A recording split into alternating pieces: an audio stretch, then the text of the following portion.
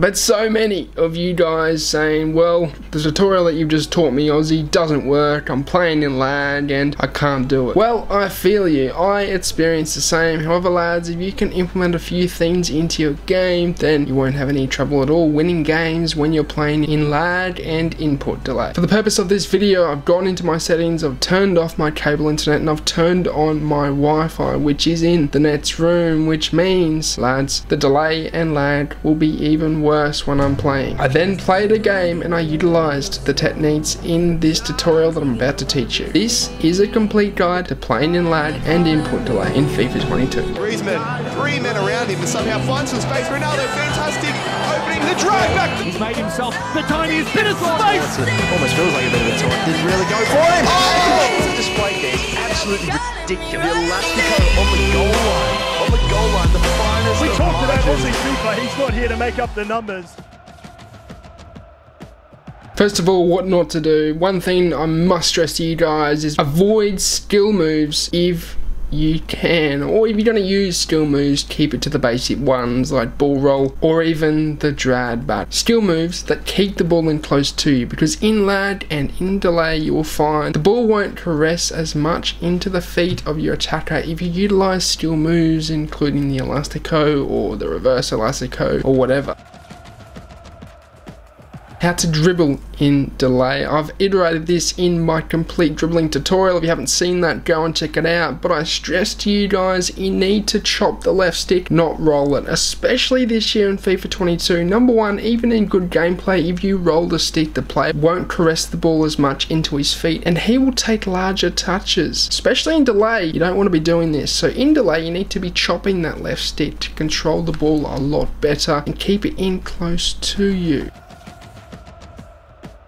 passing, I highly recommend sticking just to the regular A or X passes or RB R1 passes, which is the driven pass. And I would say also avoid through balls if you can. I recommend if the through ball is not obvious and there is a defender around him, avoid it because a lot of the time in lag and delay, it will go closer to the defender in my opinion. So you need to avoid this. You need to stick to the simple passes of regular A or X pass or the driven pass.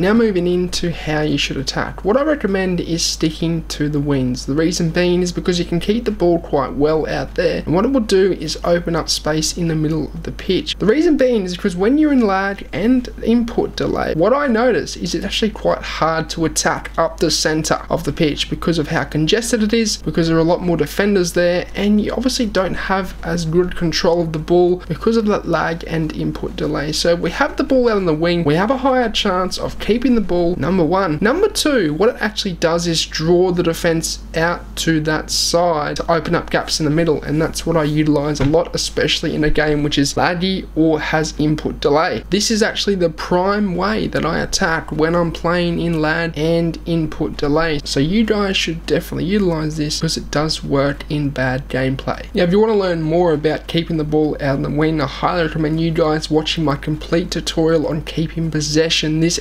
outlines this technique in that tutorial and it will give you a more in-depth tutorial on how to keep the ball in FIFA 22.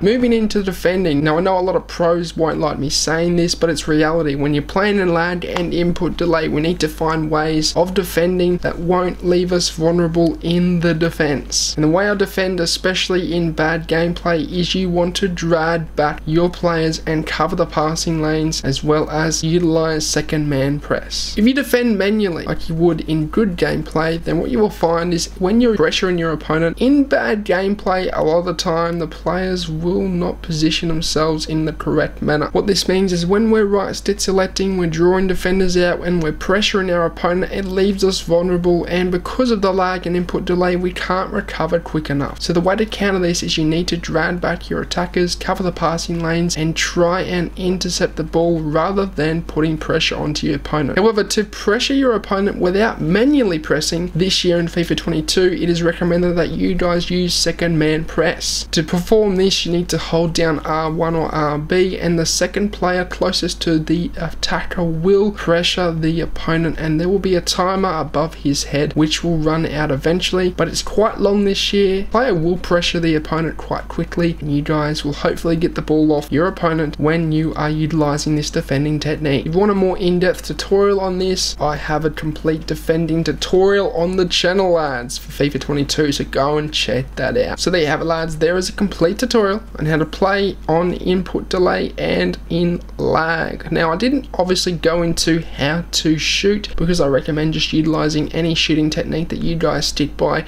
in regular gameplay because most shooting techniques work even in bad gameplay. As always, I'll give myself a plug. I am doing tutorials on Instagram and TikTok. Go and check them out. Links are in the description down below. I can keep in touch with you guys over there. But as always, I hope you have a good day. I'm out. Sayonara, au revoir, adios, salam, ciao, and goodbye.